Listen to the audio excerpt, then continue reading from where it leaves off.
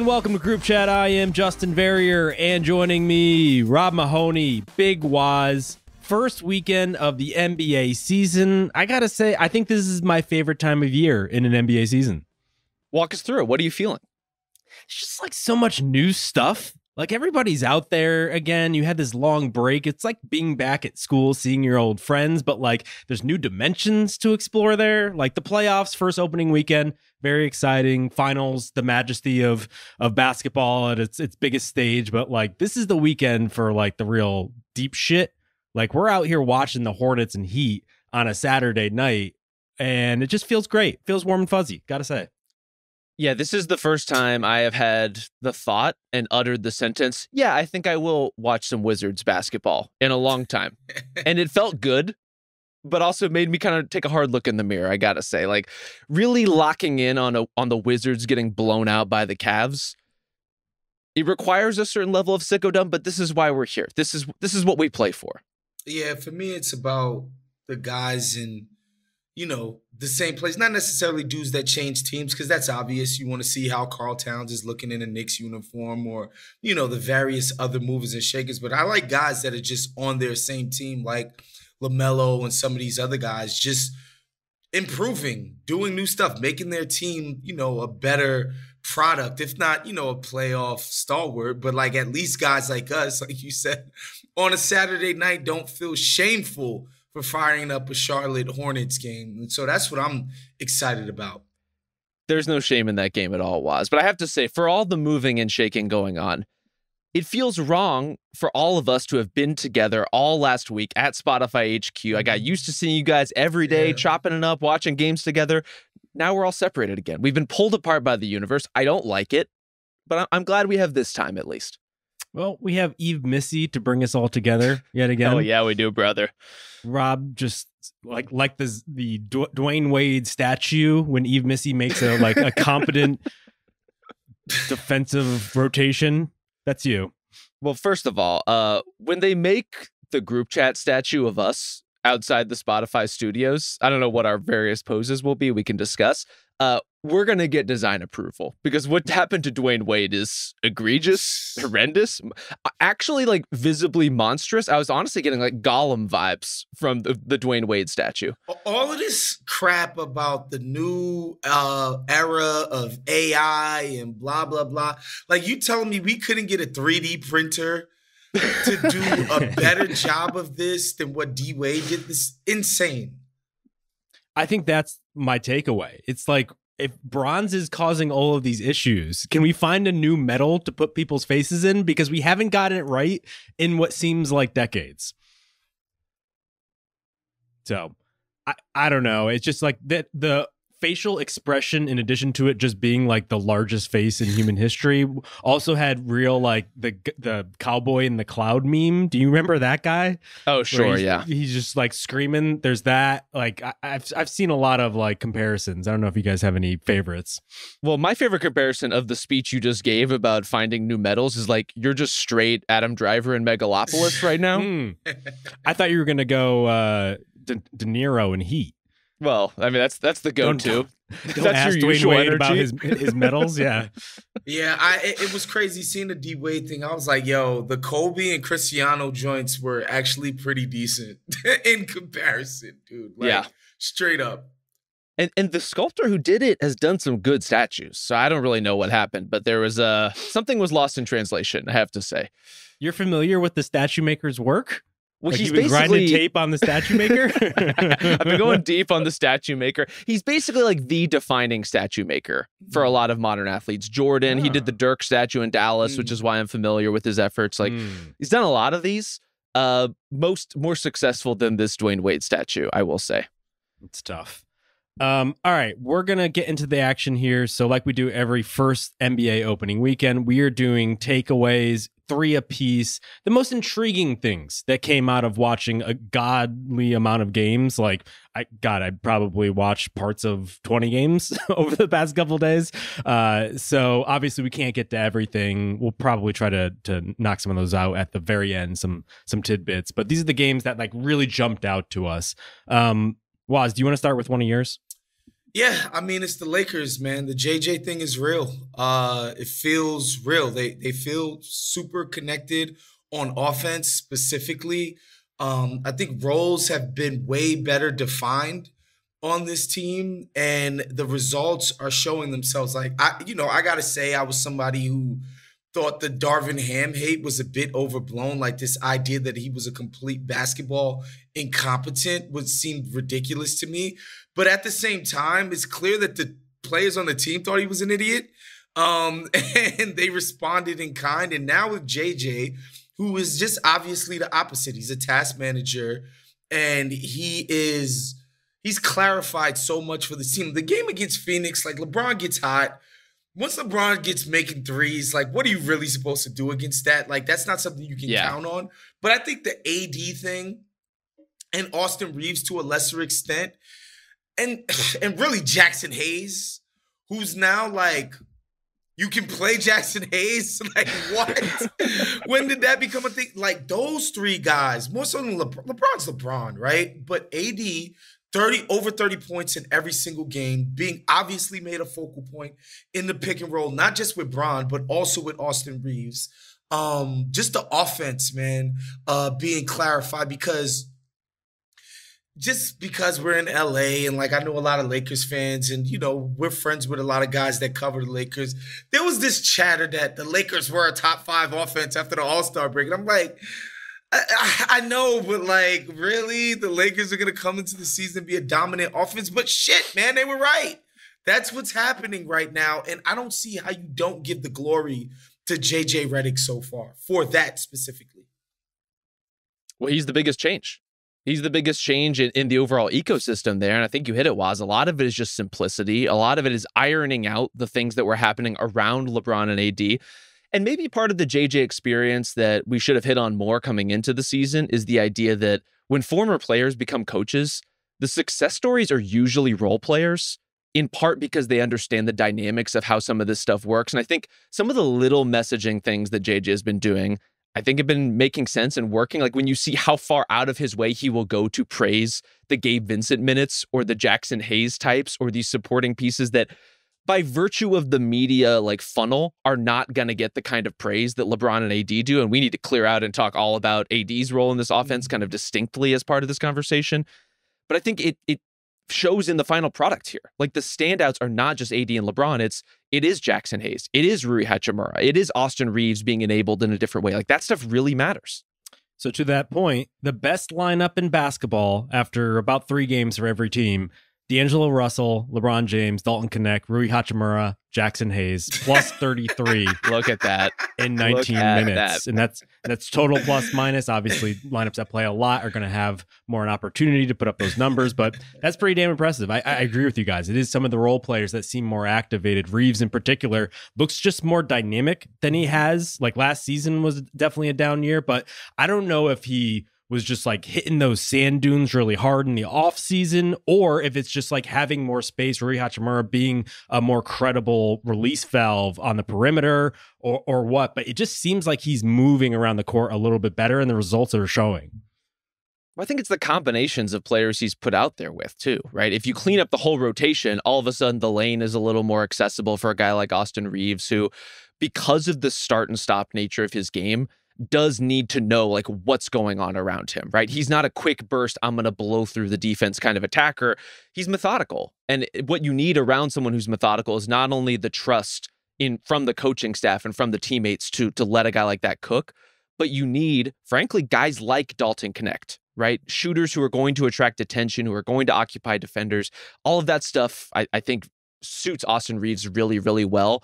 And as we've seen, also suits Anthony Davis really well, leading the league in scoring right now. Mm-hmm. Uh, I'm just, I continue to be impressed by how consistently the Lakers are looking for him. And that's such a small thing, and it should have been taken care of years and years ago. But here we are, and they're finally doing it, and it the results speak for themselves. So I don't know if we're gonna get to the Bucks at some point in their miserable start um, to the season. The Bucks hope not. Yeah, frankly. But I think Giannis needs to study a bunch of Anthony Davis tape um, because I f- it feels like Giannis conceives of himself as more as a, of a LeBron, specifically in the half court as an initiator than an AD.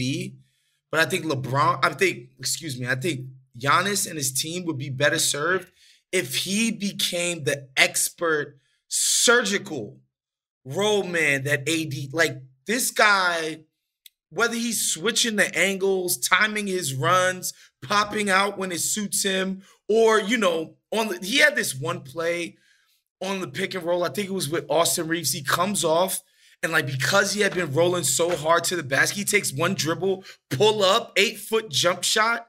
It's like he's keeping the defense off balance and controlling the offense by not being on the ball, just controlling it with his movement and the threat that he's this incredible finisher. That's been a freaking and whatever. AD's been an insane role man forever, but like his first season with the Lakers, that you know they end up winning the championship or whatever. I was kind of blown away by what him and LeBron were doing in pick and roll. I was like, damn, this is like kind of crazy uh, that they immediately have this chemistry. But you know, it's like LeBron; he's an expert passer, especially out of pick and roll, whatever. Austin Reaves not supposed to be looking like this, okay, on the ball, and he does. He he's making it. He's making it so easy on his teammates. I think somebody like Giannis, who is also one of the world's best finishers, one of the best finishers in the history of the league, if he could be a little bit more nuanced about his role game, you know, I, I think the Bucks offense would would uh, be better for it. The irony, of course, that AD in part wanted to get out of New Orleans because he saw Giannis was becoming more of a Nike guy. And like that's why he wanted to go to a bigger market. It is kind of funny, but it does feel like AD is popping in a way that he probably hasn't on this team since the 2020 bubble. Like it just feels like the team is more oriented around his brilliance and that LeBron is more complementary to that, which LeBron in particular has been pushing AD to be for years. It's just taken perhaps JJ to bring it out of him. Yeah. Well, it takes a, a concerted team wide effort and focus to do that. Like that's what it takes when you're big as your best player. You really have to have that kind of coordination and that kind of connectivity. And really that's the difference between teams like the Bucks and teams like the Lakers right now is connectivity. Both are talented, both have a lot going for them. They clearly have their respective superstars. The Lakers are locked in and they are, are working with the synergy right out of the gate that is super impressive and that frankly does make sense given the level of, of continuity they have year over year, right? Like this is a group that should know how to play together. And frankly, after last year, should have some idea of how to do it better, like what was being left on the table. And I think they've done a really great job of, of snatching that stuff up they're managing to blend being big with being dynamic in a way that is like representative of Anthony Davis. Like the team seems like it's getting its identity more from him. And to that point, the offense seems sharp, as we're alluding to, but they're also playing big on the boards. They're fourth in team rebounding percentage. And even like someone like Rui Hachimura is averaging seven rebounds a game. Like there's a physicalness to this yes. team that hadn't been there previously. And they're not losing anything in terms of shooting and, and playmaking and whatnot. So credit JJ Redick. I'll be the first one to say it. I Wait, sorry, that man an well, apology. can we get that? Yeah, can we get that one more time? Uh, I think he's doing a good job as a NBA head coach. Let's go. Stop there intentionally. Let's go.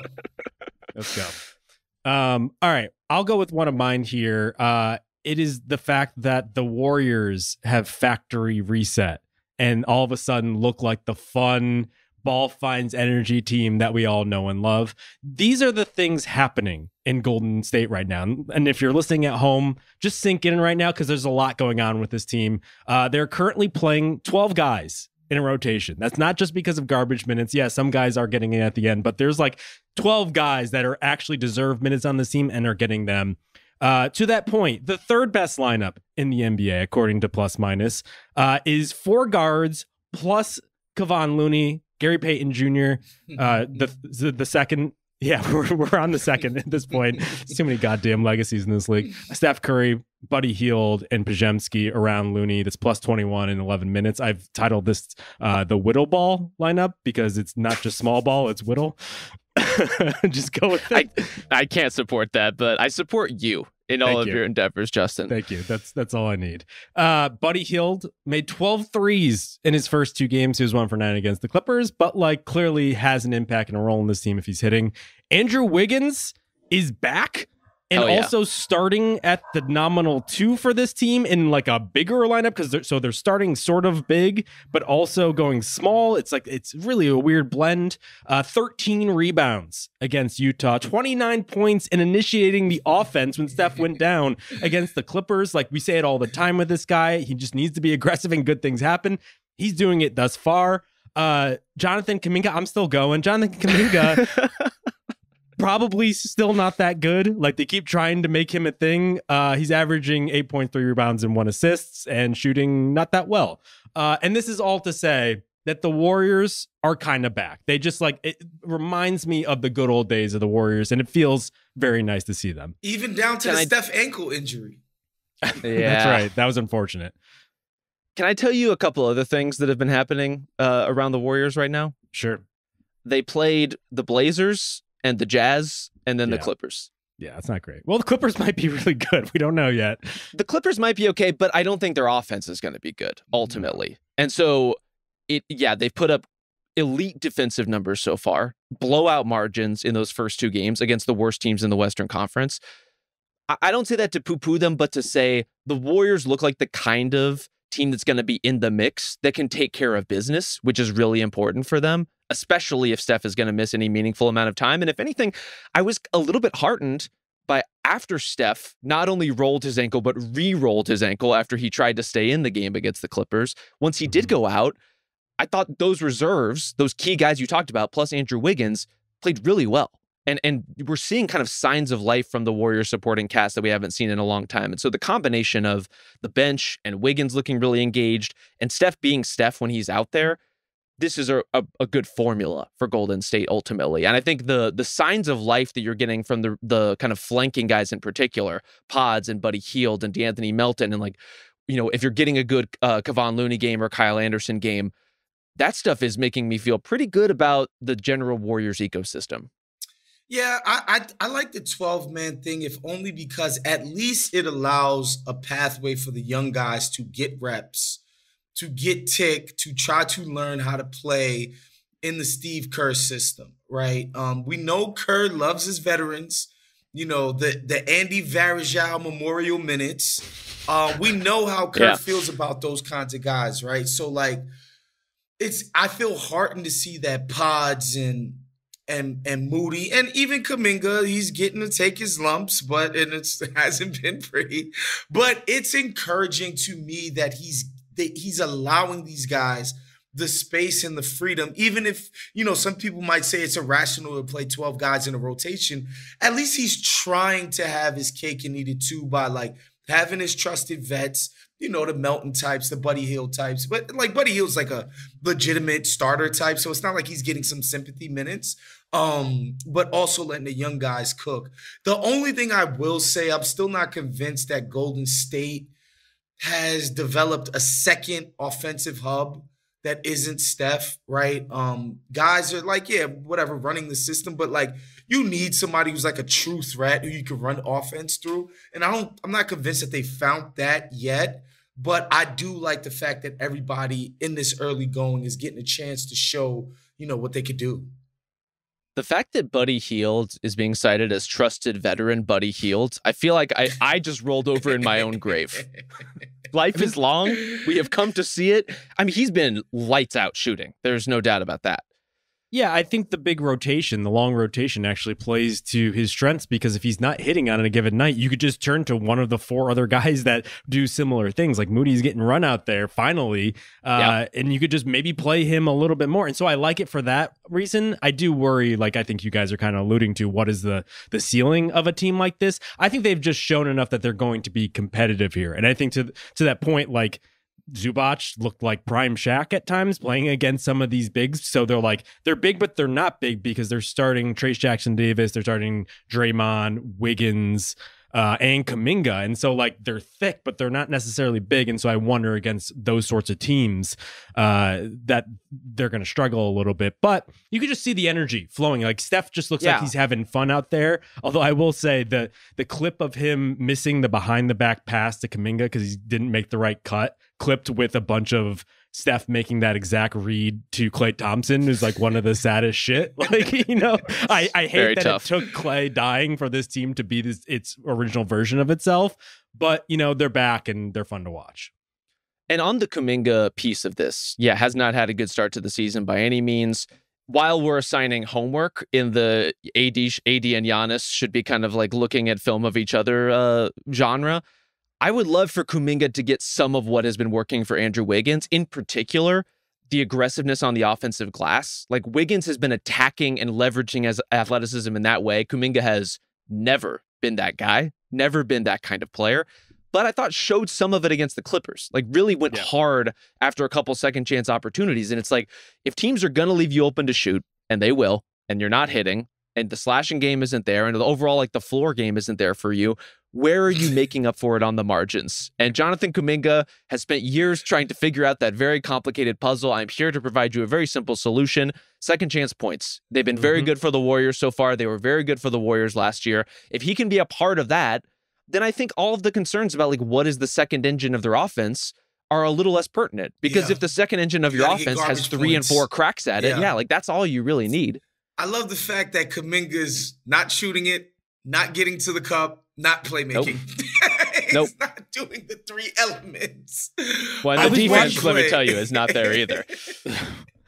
I was watching him against Utah, and man, like he was bringing the ball up. He was just like missing entry passes high. Like he would miss a corner three, and it's just like, oh god, what's going on? But then when he catches in the corner, makes an instant decisive move to get to the rim, I was like, oh, that's that's him.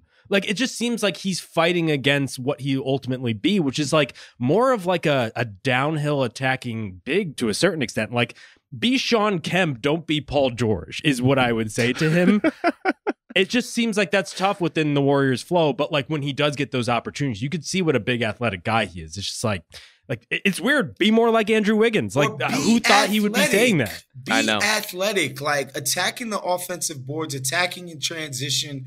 Like that's gotta be who you are, dude. Like you're you're just not the give the guy the ball and and let him cook. Like stop. You're not a cooker. You're not a chef. Not a chef? Not even a You're line cook? Not even a line cook. We wouldn't Damn. even trust him with the deep fryer like we did President Trump.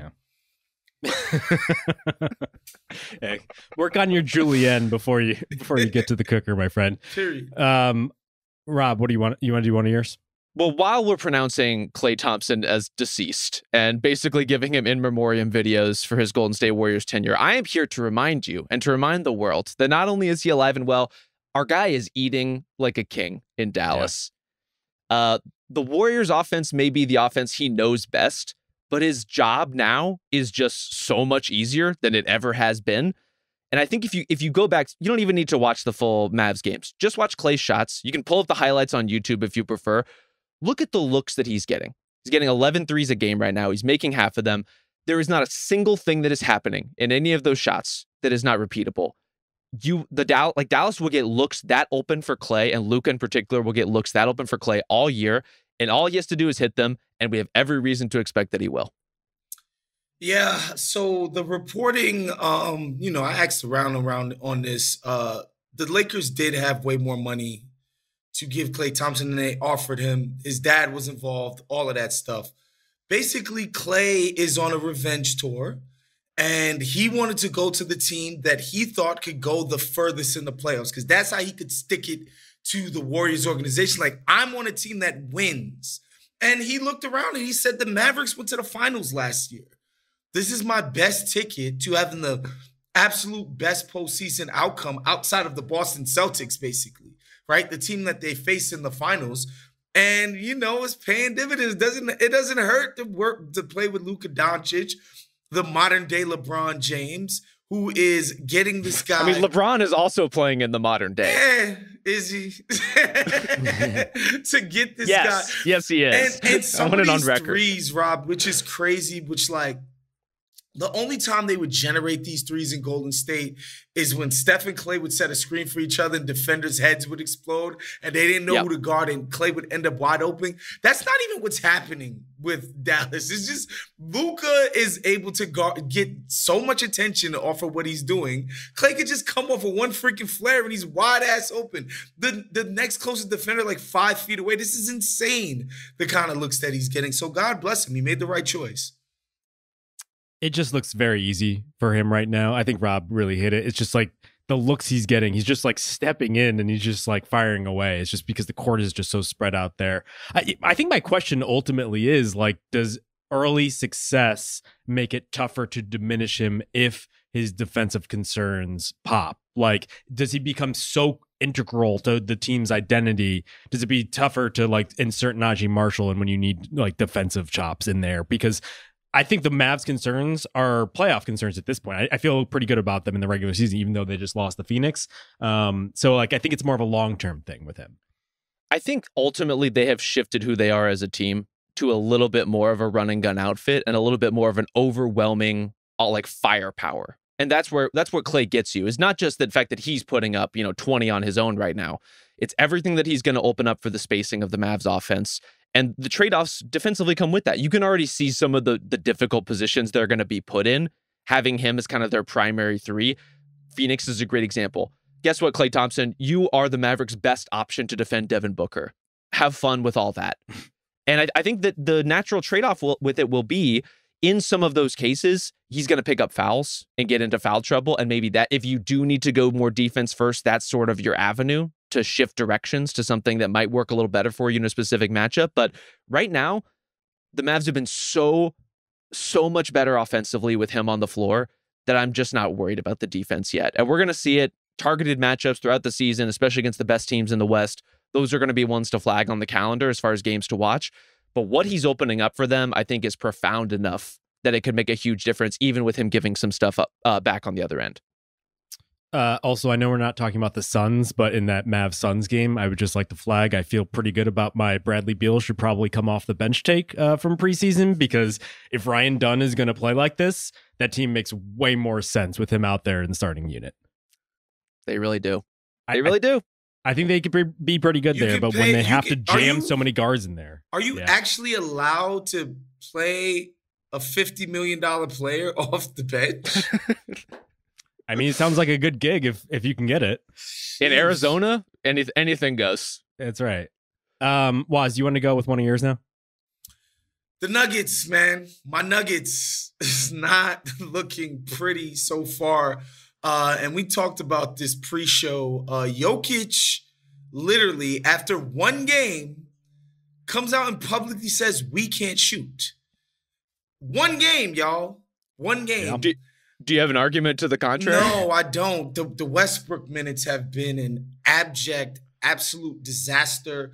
Um, in many ways, like the what's old is new and what's new is old. Like the non Jokic minutes, specifically on offense, have always been a problem for Denver in the championship season. It was a problem during the regular season and the championship season. And then Michael Malone was like, yo, fuck it. Um, Aaron Gordon's just gonna be our our bench five, and and that's how we'll solve everything, right? Um, I think those same non-Jokic minutes have reared its ugly head. And even when Jokic is playing, um, their offensive rating is at a 110. Normally, it's at 120. You know, it's like best offense in the league stuff, and it's not even that right now. Uh, it feels like Jokic, you know, from his statements, he doesn't believe in the cast of characters they've surrounded him with. And yeah, the, the vibes are not feeling great right now, man, with the with the Denver Nuggets. It's early again.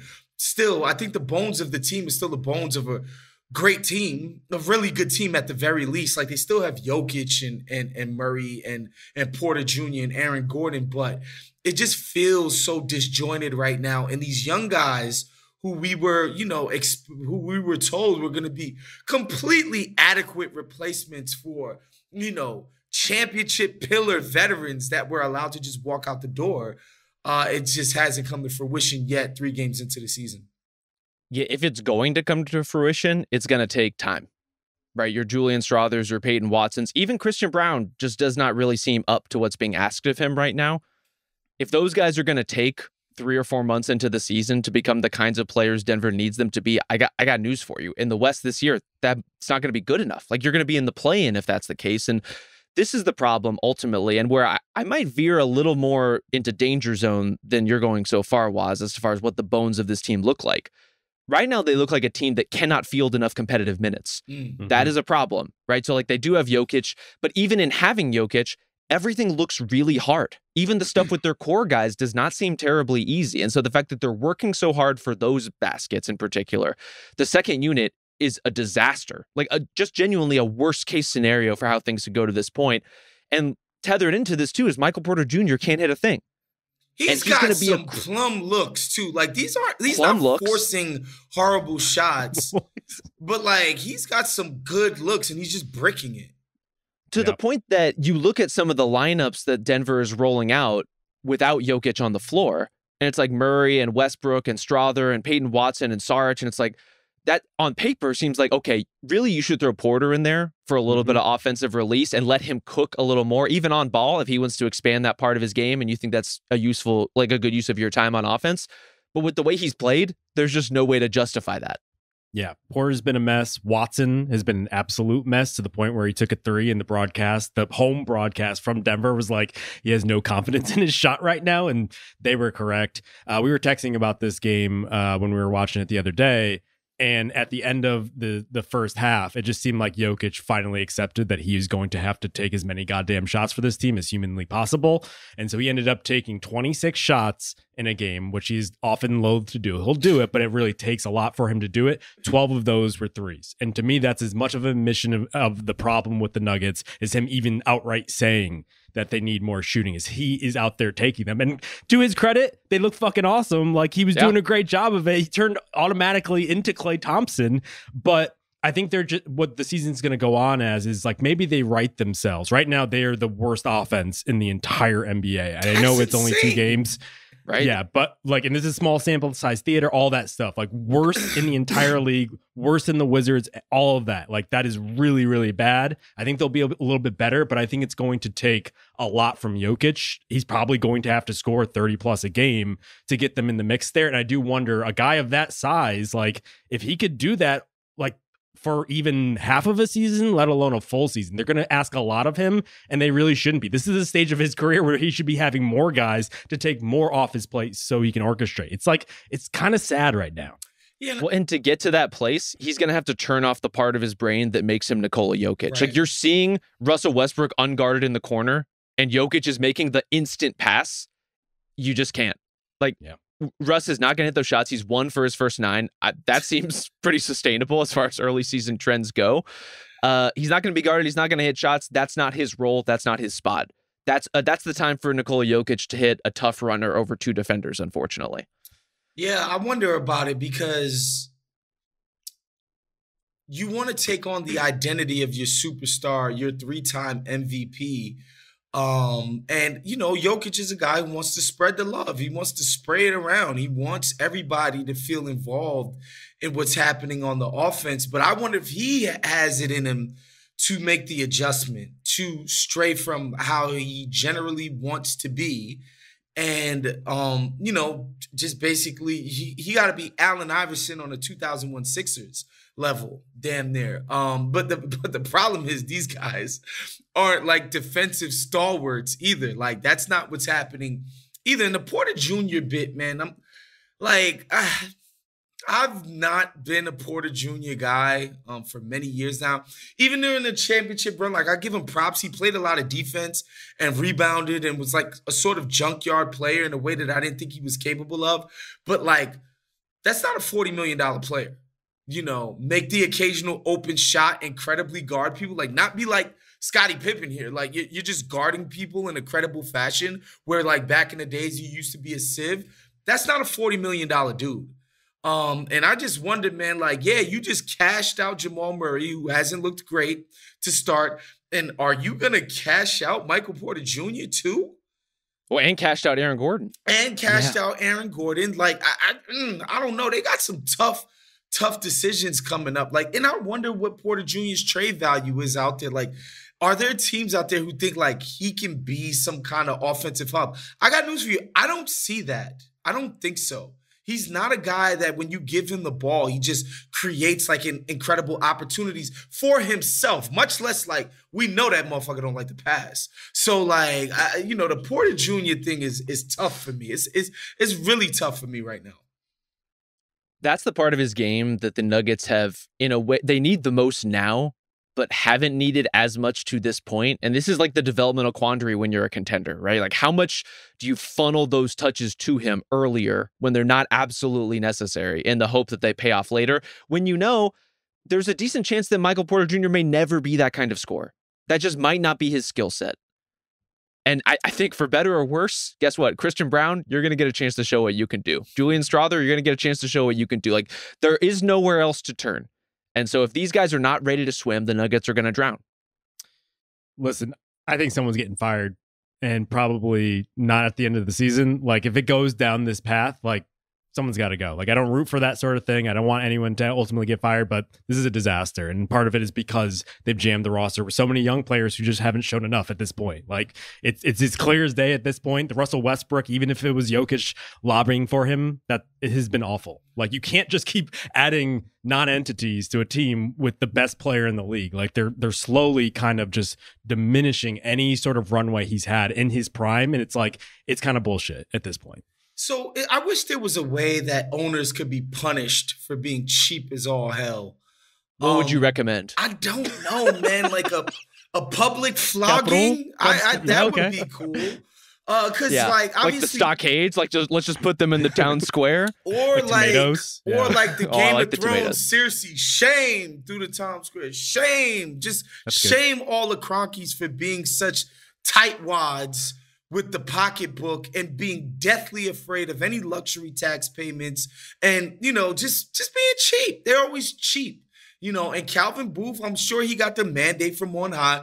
Hey make this thing a lean mean fighting machine. How do you do that? With underpaid young players before they turn into you know established guys right? Like that's the that's the quote unquote high value thing to do. And i think the ownership bears some responsibility in the the approach that they've taken. Like look at let's just take the Clippers again. Ballmer's ridiculously rich, but they've had way less success and been way more committed to spending on a team. And you look at Denver, who's accomplished way more in terms of conference finals, a championship, right. et cetera, et cetera, who's just been way more willing to be like, nah, no, we'll, we'll take the cheap route. Are are the Clippers the picture of nobility that we want to put on the poster here? I think for I think for ownership, yes, absolutely. Hell yeah. There's a lot of clips going around of like superstars going into that arena being like, "Whoa, Steve, nice job, it, buddy." It does seem very cool. I'm I'm looking forward to checking it out. I, I I think the vibe there does look unique. And I agree with your overall point that like having owners who are willing to spend is the single biggest advantage you can have in sports, who are willing to blow past the luxury tax, who are not bogged down by the idea of having to pay it and balking at the idea of having to pay it. That's what makes sustainable contenders. And it something to flag on the Boston Celtics front of this too of like whoever the new ownership group of the Celtics is going to be you're going to have to be willing to foot the bill for a while to keep this thing together, but, or else you're going to have to pull it apart. But Rob, I, the reason why I respect the Celtics though is that they're like, fuck it, we're paying all these guys. we're going to eventually have to pivot, but like Denver would have never even got to the point of what Boston is doing in terms of payroll this year. You know, like they would have got started early on that process of getting rid of the Derrick White or the Jrue Holiday sure. or the Porzingis. Like, I, man, I'm I got the utmost respect for them even going because this is pure sicko shit what they're doing right now. But I love it. Look at their team. Look at the results, man. They like they're giving their fans what they freaking deserve. Like we put a great team together. We're not going to let money prematurely break this thing down. Although eventually, yes, they like the payroll right now is is is un, unsustainable for sure. Uh, I hope this is not as bad as it looks, Justin, but it looks really bad. Yeah, well, to keep the bad vibes going, uh, can I present to you guys the New Orleans Pelicans, uh, who Yeah. had one of the most insane three game openers, uh, I think, of any team thus far. So they win the first game against my mighty Bulls, which it hurt. It hurts bad. I was ready to believe. They beat the Bucks, and then all of a sudden Yeah. looked like dog shit the next game. I, I think they're not Can good. we- That's unfortunate. Can we get a little snapshot from you on on what hit you in the heart, in the chest, when you saw Josh Giddey and all of his former Thunder teammates posing for pictures, like enjoying each other's company? You know, it's it's a real, it's the end of an era. Why does Josh Giddey look so flat-footed on defense? Like he doesn't even like stay on his toes. like what, what Where have you there? been? Where have you been? I know. I just I was just so enamored with the hair. I guess. Uh, I don't know. Um, but yeah, the the Pelicans they win the first game, but Dejounte Murray goes down. Second game, score 37 points in a half against the Blazers, but rally back triumphantly. Brandon Well, Ingram hits the shot over Almost Anthony lost. Simon. Almost, Almost lost lost. to the Blazers. Almost lost, but you got to give it to them that they came, Sure. they rallied so strongly. Uh, Yes. Zion Williamson just with the babality just rips it from uh, someone at, to end the game. Like that felt good. I thought they were onto something there. They looked awful in the third game on Sunday. I was there in person again against the Blazers.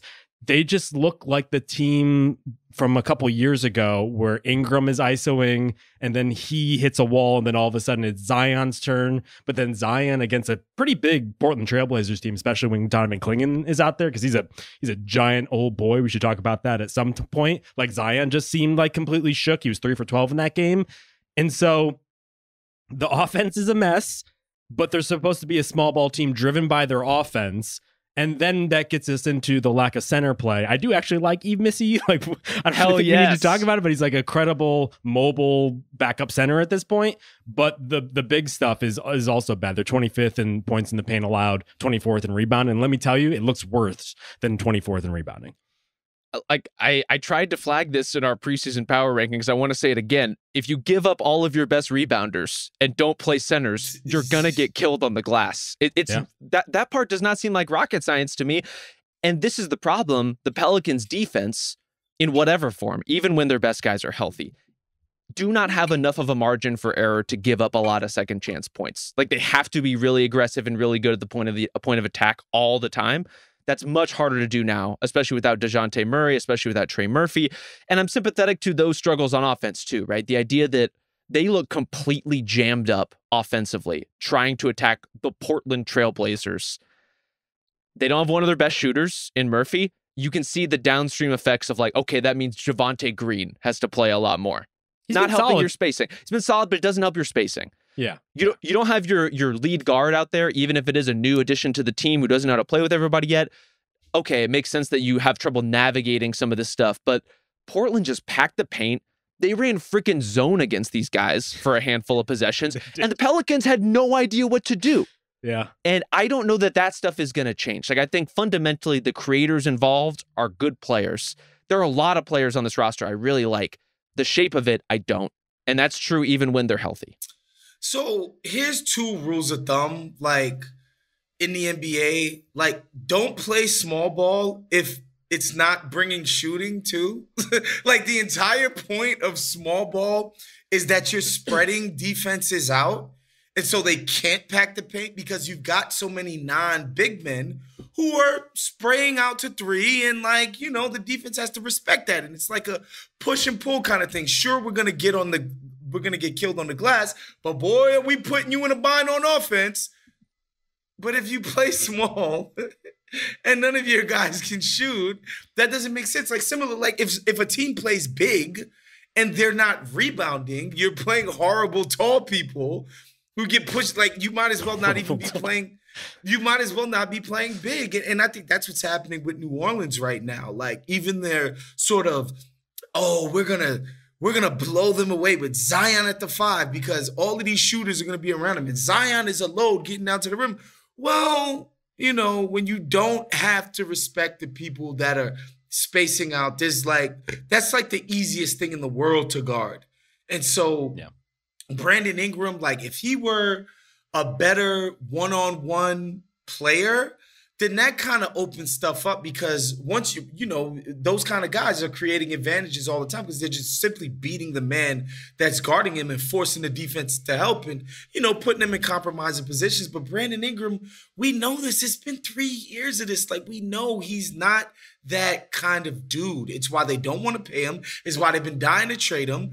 And yeah, he's he gets thrust into the role every now and again. He's ill suited to it, man. Like, yeah, it's just they, tough. Uh, I think if you were to ask them, they would say that DeJounte was expected to organize a lot of the different options on this team. Losing him kind of disrupts everything that they've been planning for. I don't think it's a coincidence when CJ McCollum gets his hand on the ball.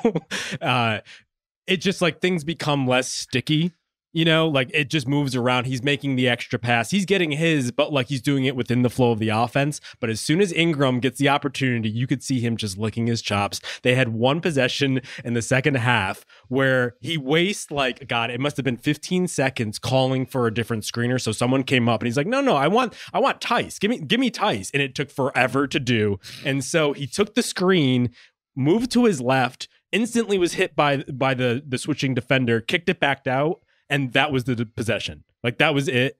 And I think it was a shot clock violation. It was one of the worst things I've ever seen in basketball. Like it was just such a mess. And I don't know how this really fixes itself until DeJounte gets back out there. And even then does it. Mm-hmm. But I, yeah. I want to preempt something right now. There's some Pelicans fan out there who's going to be like, but wait, Brandon Ingram had six assists in this second game against the Blazers, in which the Pelicans got completely walloped please like no. I i, I beg of you go back and look at those possessions. Yeah. the idea that he is a ball mover within this offense as it's currently constructed is just not true. And look I, again i am sympathetic to the idea that he doesn't exactly have space to operate out there. None of these guys yeah. do that's the problem right? That's that's where the pelicans find themselves is they don't have any room to actually let anything develop. They don't have the transcendent playmakers who can make things develop and as Wos alluded to, they don't have the the benefits of playing small in any conceivable way. And so right now they are just kind of like drawing dead with really tough isolation possessions that Brandon Ingram will sometimes hit and Zion in some matchups will be able to take advantage of. But we saw the limits of that when you have actual rim protection in there. It, it makes it really hard for the Pelicans to survive offensively. Listen, I fancy myself as somebody who used to be a president of the Brandon Ingram fan club. Um, the guy is so freaking toolsy.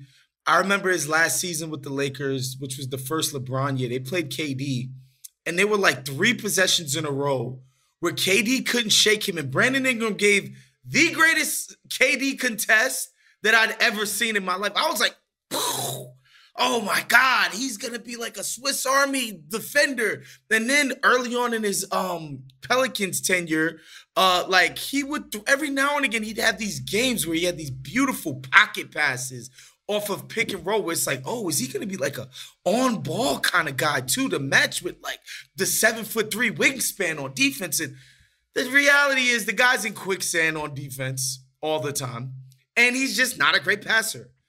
And he's not able to beat defenders. The best way he beats defenders is guys that don't have size on him. He gets into his mid range and he pulls up. That's not a very efficient shot to have your quote unquote shot diet be right? Like that's not look at you, look at you was look at you flexing. Get the b-ball breakdown I've going been, for this I've guy. been on, i've been on the internet recently. Um right. yeah i get it. I, I i've been there with brandon ingram. It's just he's just not that guys. Like he's an underwhelming no. player uh in terms of what we thought the potential could be for this thing. And sure. I, I think you know we're seeing the realities of that I'll just say on the positive side, Jordan Hawkins pretty good. Glad yes. he's our guy. Yes. Like the start to stop is like really sharp, and like that guy can kind of get up. Like he skies for rebounds. He's like averaging like six rebounds a game, just because I think he has such a good vertical leap and good like an idea of timing, and and like everything he shoots, you think it's gonna go in. Oh so God. like if he's playing more, that's helpful. Obviously, not going to change the the the top line takeaway. I think though. I mean, he just makes bucket getting look so easy like yeah. so seamless, so simple for him. Like I love his release. Where I think we've all been waiting for the Jordan Hawkins minutes. Unfortunate circumstances that it took Dejounte Murray getting hurt for him to get in there, and we'll have to see kind of like what's left for him when the rotation is whole again. But there are some like sprinkled positives in here, right? It's not all negative, and that's what's so confounding about the Pelicans. Like I think Brandon Ingram on ball has been a sometimes frustrating experience he's also taking more threes than he's ever taken before on the catch. And like that, that makes me encouraged that when they do get their actual point guard back in the lineup, maybe things will clean up a little bit. As you mentioned, uh, Justin, I am all in on the Yves Missi experience. Like he's the sort of like jump at everything big where I'm not sure how much he's actually helping yet, but he's doing a lot and I enjoy watching it quite a bit. He's just not the exact kind of size that they need. And so, yeah, there are a lot of players here that really work within certain contexts. Uh, I just hope that they can figure out what the context is within this actual team. Can't trust the Pelicans. We're back there Never. again. Can't Simply never. Uh, why don't you go with one of yours, Rob? Uh, Victor Wembanyama is playing pretty well. I don't know if y'all heard. His touches have been very, very promising. I'm very encouraged by what we're seeing out of San Antonio. Specifically, he's getting the ball more. That's great. We all want that. How he's getting the ball, when and where and how. Very constructive, very huge positives, like easy entry passes into the post. Who knew who knew you were allowed to do that? Simple, unstoppable pick and roll lobs from Chris Paul. I would say, especially in the Houston game, like it was just candy there basically all game. And more Spurs are actually daring to just throw the ball over the top to the giant guy in transition. Again, I didn't know these things were legal, but they are. San Antonio has opened up the playbook and allowed guys to pass to Victor, to Victor Wembanyama in new and exciting ways, and I'm extremely here for it.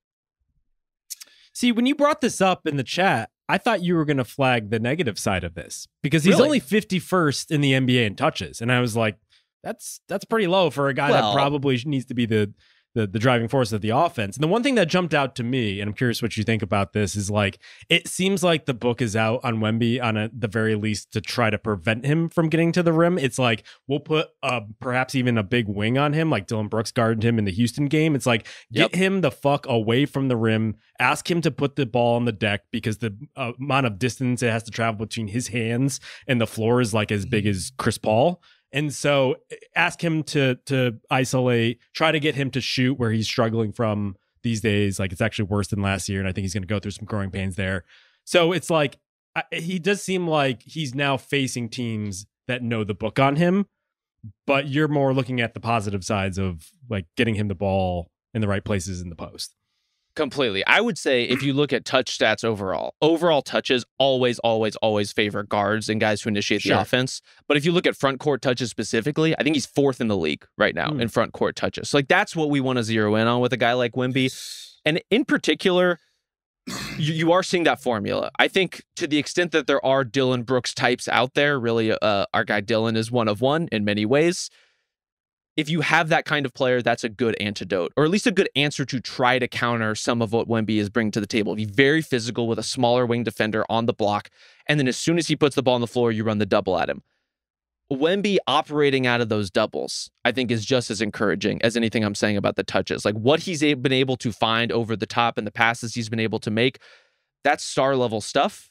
And if, if you were to ask me, the single most encouraging play or the play I had the strongest response to all weekend of watching, it was Stephon Castle making a cut like right down the gut for a Mm. dunk off of a Wemby double team that led me He's to say some frankly journalistically irresponsible things about Stef- Stephon Castle's future in our ringer Slack.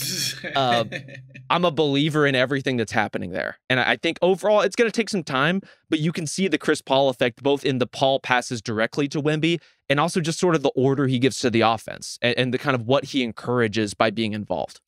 Yeah, so to me, man, like oftentimes when you see the the Wemby clips that get the most sort of traction on Twitter and, and Instagram highlight pages or whatever is when he's doing the dribble dribble stuff on the perimeter and making a three. Like I, I just I think that's ridiculous. I think what he's going to be dominant because he threatens the paint. Because he's threatening at the rim, because he's putting big men in foul trouble, or constantly drawing double teams from his touches in and around the basket. And the stronger he gets with the ball, the more confident he is passing out of doubles. That's when he's gonna really become who he's supposed to be. Like this whole KD shit, or you know, oh, he's gonna be a perimeter off the drip. Like, get out of here with that. Like, he's gonna be someone. He's gonna be a foul magnet and he's going to be an expert passer out of double teams. And that's when he's going to just be an unstoppable dominant force when you pair that with what he's already doing on the defensive end, right? And so that's why I'm happy Rob mentioned the front court touches. Not like, you know, dilly dallying around the three point line, even though he's seven freaking three. You know, it's about like, no, this guy can put legitimate pressure on the rim, not just as a roller, but like, yeah, straight up traditional post touches. I'll kick your ass that way too. Like, that's what's really encouraging to me.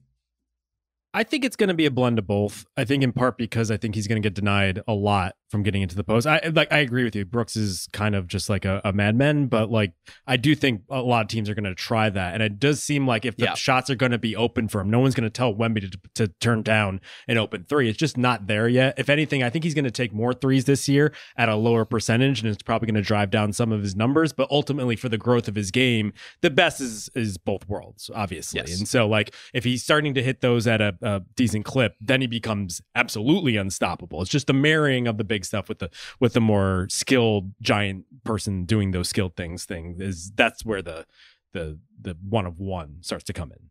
especially if he can sell it. Like, not to blow up Wemby's whole spot here, but the secret is the three is the bait. Like, if Yeah, you bite, right. if you bite at his Going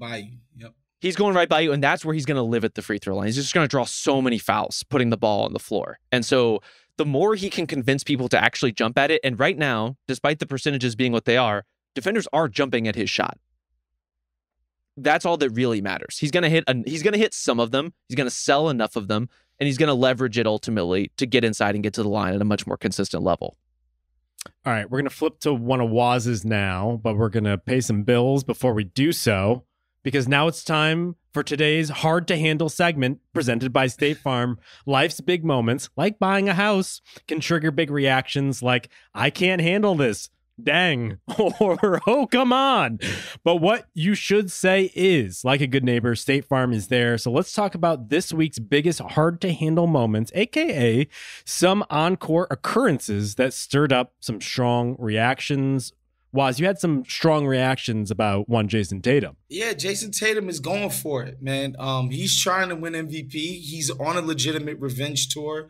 Um, on our live live stream last week, uh, on Wednesday, I, I told you guys I thought the Celtics could win 70 games, and part of it is that I think these guys legitimately feel disrespected and they're motivated. They're talented, they're motivated, they've got the freaking cohesion, they've got that championship swagger where it's just like, yo, we can get in tight spots and we'll get out of this. We're champions. We know how to do this. And Jayson Tatum is averaging 33 points in 32 minutes. Per 36, this guy's getting up 14 threes a game. What? That's Incredible. insane. Like, just that number alone lets me know that Jayson Tatum's not out here to play with y'all.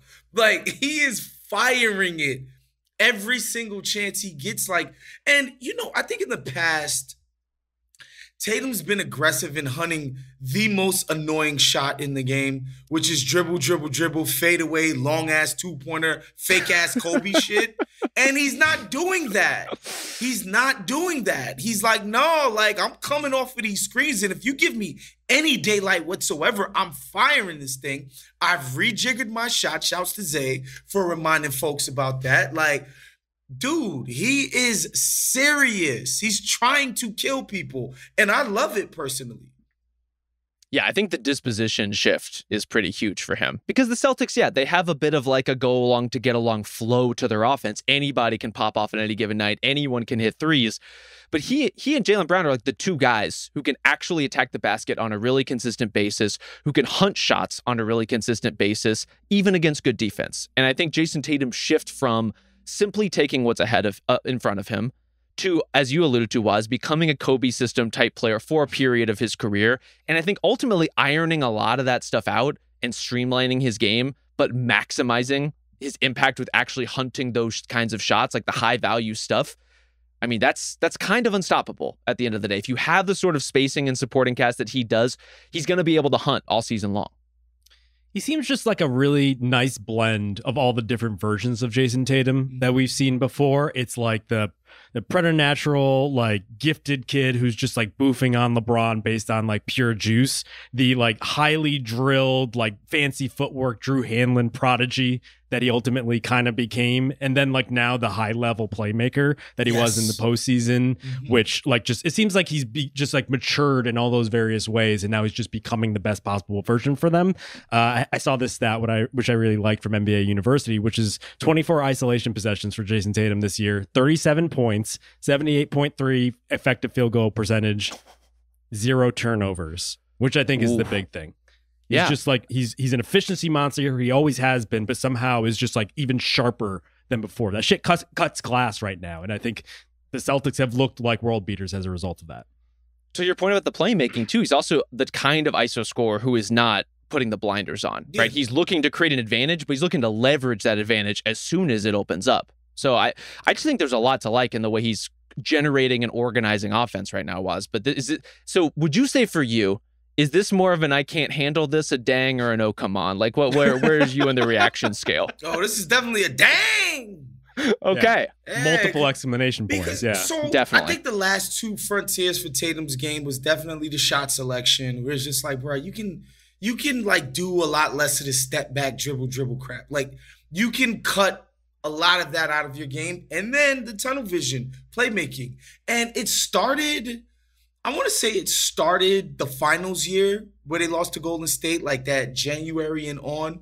Like he started becoming a better playmaker in the playoffs last year. That shit just crystallized, like straight up, like he was just a playmaking machine. And now this year, he's like, look, like I don't do as much. I like he has the license to do some of that Kobe stuff when he wants to, but he's just being smart about hunting all the right shots, which again, off the dribble, off of a screen, guys don't want to leave the guy that just screened for you because they're a shooter. So they're letting you get that that put walk into that pull up, or when you get daylight, take it to the rack. Like it's it's nice. I mean, we make it sound simple, but a lot of times it is that simple, man. Um, Yeah. and he's killing it. I think I speak for all of us when I say, dang. Uh, so when things feel hard to handle, like when you need help protecting what matters most, remember to say, like a good neighbor, State Farm is there. With State Farm, you can talk to your agent to help choose the coverage you need. Select your coverage options to protect the things you value most. File a claim right on the State Farm mobile app and reach a real person when you need to talk to someone. Visit statefarm.com to learn more. Uh, so I'm not really saying dang about the Atlanta Hawks, but I gotta say, like, I just can't quit these guys. Are you guys familiar with the Simpsons clip in which uh, Marge tries to convince Bart to bring a potato uh, to show and tell, and Bart's like, "Why do you keep doing that?" And she's like, "I just think they're neat." That's me with the Atlanta Hawks because I'm watching this team and it's just like it's fun. I know it might sour at some point because Trae Young is doing a lot, but this is the best version of Trae Young doing a lot, where it seems like they just have the right guys there. Jalen Johnson, Rob's guy, just coming into form, just seems like he's a better version of himself. And and honestly, Dyson Daniels almost seems like a miniature version of Johnson, where he is incredibly physical, yet he doesn't sacrifice the mobility and the skill. Like he's shooting from three really well. He's four for eight uh, in his first two games, over four against OKC. So it might come and go. But those are the exact type of guys I want around Trae Young, just to have a fun Trae Young team. And that's exactly what they've been thus far.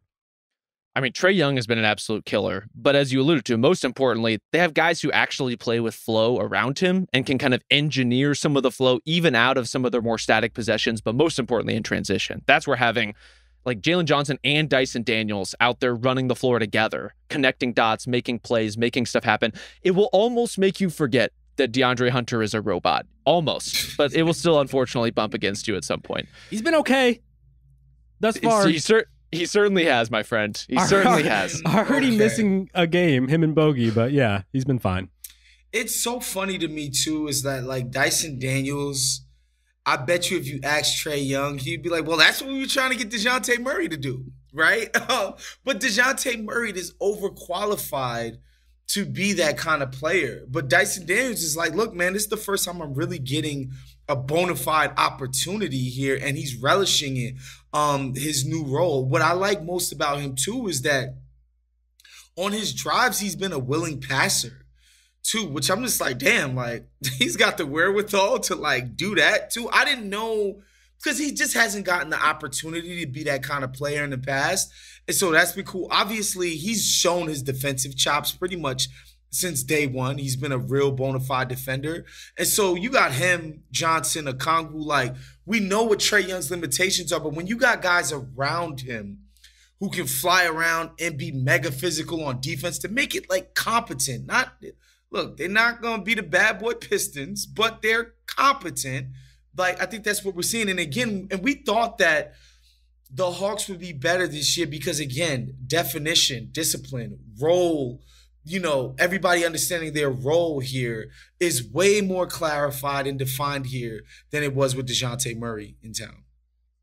Yeah, I think they're also doing some smart movement going into all the Trae Young razzle dazzle pick and roll game. It's not just pound the ball at the top of the floor, one five, let's go. Mm-hmm. It's an initial action going into Trae, So the defense is already moved, already unsettled, and then he gets to attack. And he, I think he's been pretty unbelievable for the most part, especially as a scorer. The turnovers have gotten a little away from him. 10. But some of that is that's how it goes when you're basically the only other guy on your team that can dribble is not not in the lineup in Bogi. So you, that's tough. I think, I think, he likes it that way, to be honest. But he might. Right. We he might, know but yeah, we don't. that way.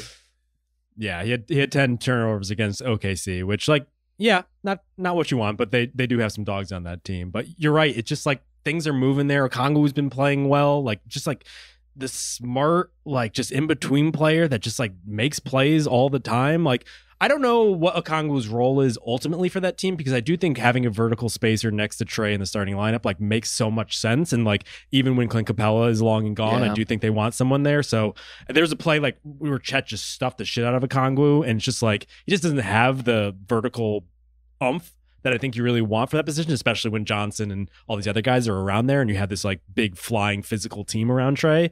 But he's just a goddamn good player and he just makes really good. good. players. Yeah.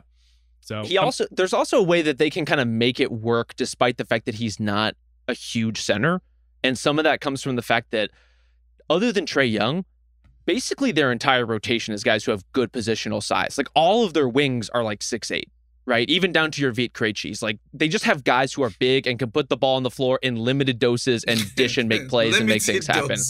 limited doses being the key word. But like and, and that's where Risacher is like fit in like a glove, right? Like he's another guy who fits this exact mold of dynamism, of playmaking, of just overall like understanding how to play and how to move. And I think when you have Trae, who I, I agree with you, Justin, that ultimately they probably do want some kind of vertical spacing, if only because Trae is just one of the best lob throwing guards in the league.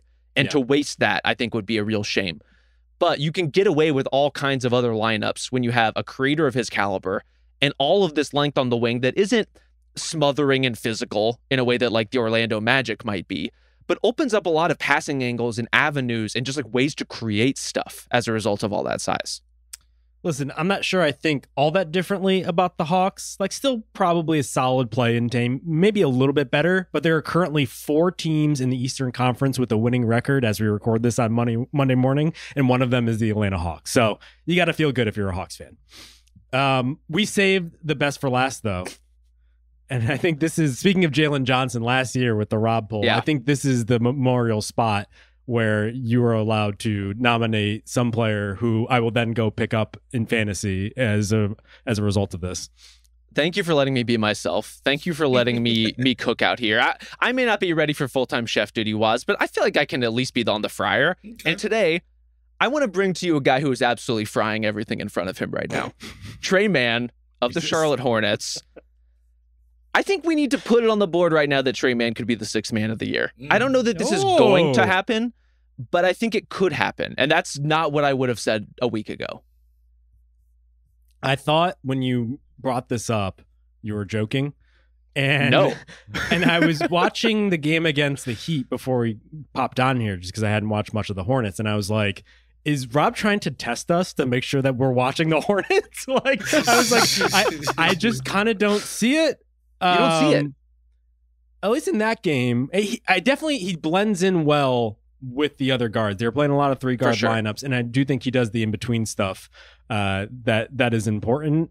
I it, I just couldn't shake the the the look of like he kind of dresses like little Bow Wow and like Mike. You yeah, know, like it's a lot Yeah. of the, the AI thing. I'm just like, oh, he's doing an AI impre- There's a little of that.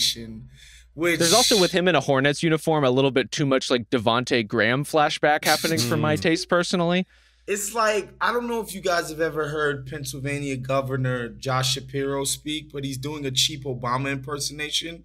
That's Okay. kind of the vibe that Tre Mann is doing with the Iverson aesthetic. But you know, worse things have Baggy been done on an. NBA fo- Yeah. floor. Well, it, Yeah. also if, if he has the game to be a, a cheap Iverson, that seems like six man of the year material to me. Absolutely, absolutely, and he's making his threes right now, which is nice. Making his threes, and this is the thing. I think right. So right now, if we're gonna do the highest scoring reserve player thing for six man of the year, which again I could never myself support, but if that's what we're gonna do, if that's what we're gonna do, right now, Buddy Hield is number one. yeah. Number two is Tre Mann. Mm. He's getting buckets. He has more opportunity right now, granted, given that Brandon Miller is out. Like there's there is usage for him to sop up. But I think the Hornets are really reaping the benefits of having his creation out there. In particular, when he is the dual threat of he does the jumper is falling, which is nice. I really like him as a downhill mm-hmm. guard. And, and in particular, one of the few small guards in the league who actually follows his own shot. And so if you're going to have a guy who's going to cook a lot one on one and get up a lot of shots, you want someone who's also going to be a factor in other ways. And the fact that he can get inside, mix it up, he's really athletic, can pull down rebounds, can get tip ins. All of that stuff I think plays really well for for a Hornets team that not only needs creation next to LaMelo and even next to Brandon Miller when he's back, but needs some shooting, needs some second side like juice. Like I, I see a role for him long term with this team.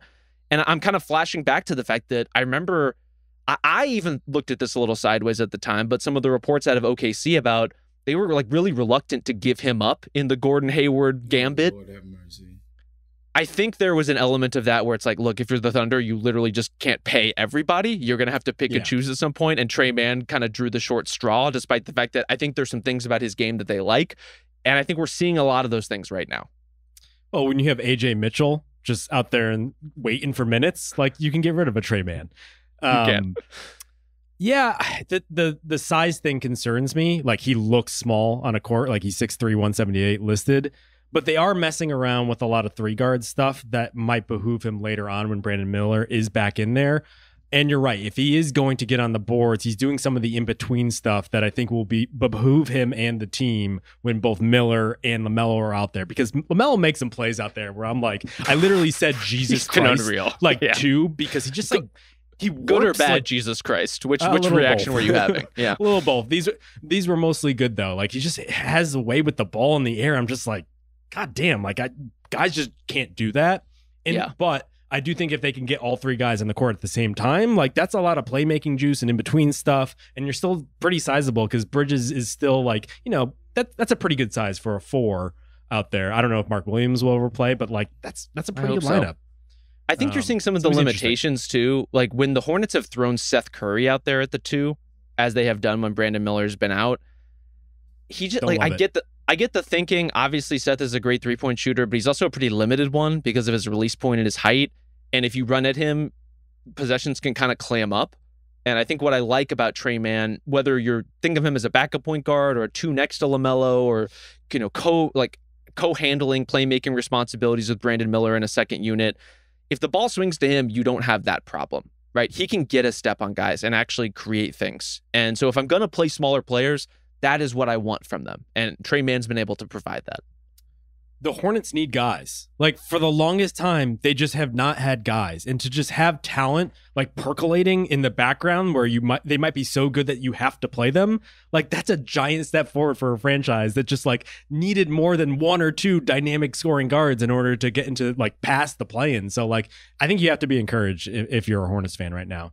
Um, but if we're I'm naming guys, Oh, I'm just never going to forget that my career has now boiled down to I submit a serious suggestion for content for this podcast, and you're like, I thought this was a joke. He's he. You see him out there, man. I, I got to tell you, he just looks really small. Um, can we name some guys before we go here? I would love nothing more. Okay, well, I got to give apologies to both the Clippers and the Bucks because they've had very interesting starts to the season in their own way. The Clippers two and one, the the Bucks concerning as all hell after kind of getting lambasted by a Nets team that's starting Cam Thomas and Ben Simmons and all those guys. Like, we're gonna have to talk about that next pod.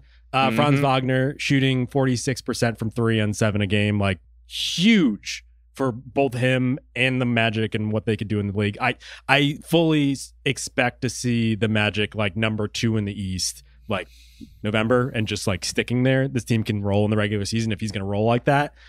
But the guy I really want to talk about, Jay Huff, backup center for the Memphis Grizzlies. Looks like he just got off his shift at an REI, uh, but is simultaneously a bouncy rim protector and three point shooter, shooting 57% from three at, at backup for the Grizzlies, 13 points a game.